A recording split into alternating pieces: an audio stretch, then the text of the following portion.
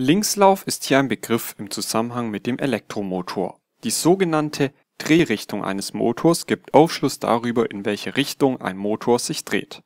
Man unterscheidet hierbei zwischen Rechtslauf und Linkslauf. Hierzu schaut man sich den Motor auf der Antriebsseite an, also die Seite bei einem Motor, bei welcher dann beispielsweise eine Arbeitsmaschine angeschlossen wird, sprich fachlich ausgedrückt die Seite, die das Wellenende aufweist hier der ausgefüllte graue Kreis ist die Welle von vorne, also quasi die Eisenstange, die vom Motor angetrieben wird, von vorne gesehen. Und hier gibt es wie gesagt Drehrichtungen. Bei einem Motor für Rechtslauf dreht sich die Welle nach rechts, also im Uhrzeigersinn. Bei einem Motor für Linkslauf dreht sich die Welle nach links, also gegen den Uhrzeigersinn.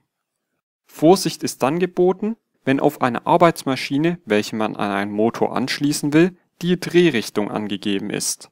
Denn diese Drehrichtung ist für das Wellenende angegeben. Und das heißt, es ist genau andersherum. Das heißt, für eine Linkslauf-Arbeitsmaschine benötigt man einen Rechtslaufmotor.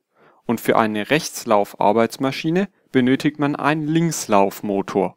Ich bin Enrique Fernandes, hier bei FMH Studios. Bis zum nächsten Video. Adios.